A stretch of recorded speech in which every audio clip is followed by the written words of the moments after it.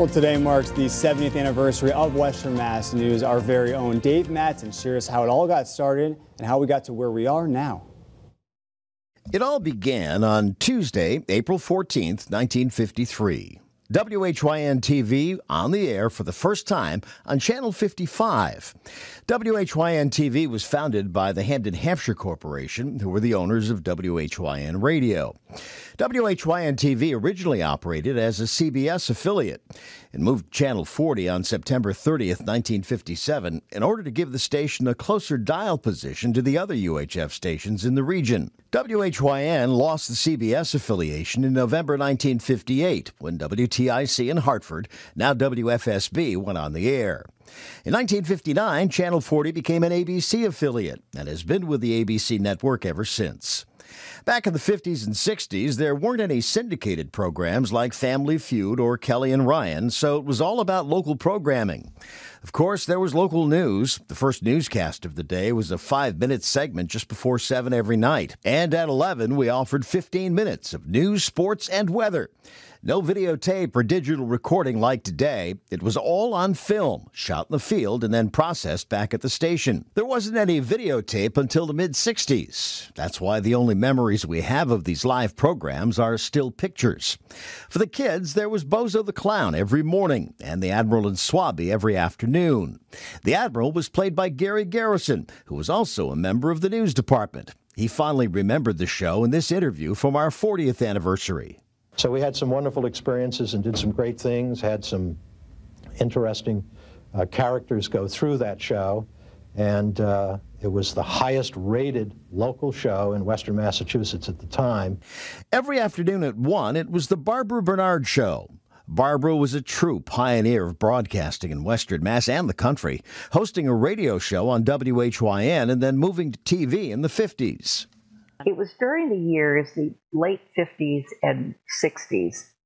We had um, we had the Valley Players, we had the Storrowton Music Tent, we had Jacob's Pillow, we had Tanglewood, we had brilliant, talented people.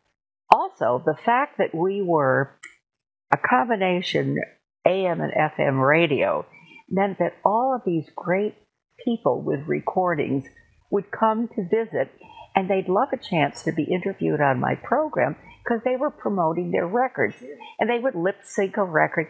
We had them all. And Barbara's still going strong today. The stations were sold for the first time in 1967 to Guy Gannett Broadcasting in Maine for $4 million. In the 70s and 80s, we offered local programs like Polka with Frank Knight.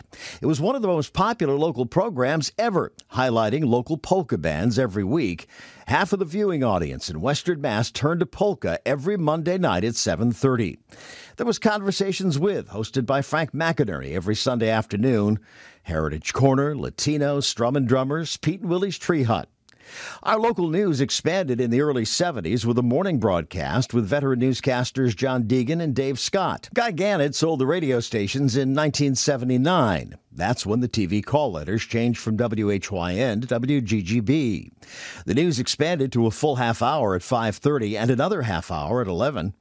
In the 80s, we started our first morning news from 6 to 7 and noon news from 12 to 12:30 and expanded the 5:30 news to a full hour. The 1990s saw the name of our news change from Newsbeat to News 40, and the news expanded again with the area's first 5 p.m. newscast. More behind the scenes changes in 1998 when Gannett sold WGGB TV and its other stations to the Sinclair Broadcast Group. In November 2007, Sinclair sold WGGB to locally based Gormally Broadcasting for more than $21 million, making WGGB then the only locally owned TV station in the market.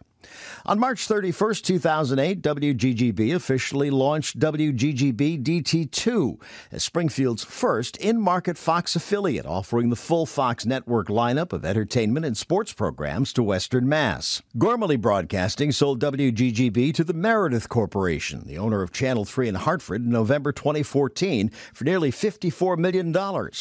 That created a duopoly with low power CBS affiliate WSHM. In 2015, the now three stations, ABC 40, CBS 3, and Fox 6, became Western Mass News. On December 1st, 2021, Meredith sold WGGB and its other TV stations to Gray Television for $2.7 billion. And that's where we are today. We've come a long way in 70 years. Our morning news programming has expanded to four and a half hours.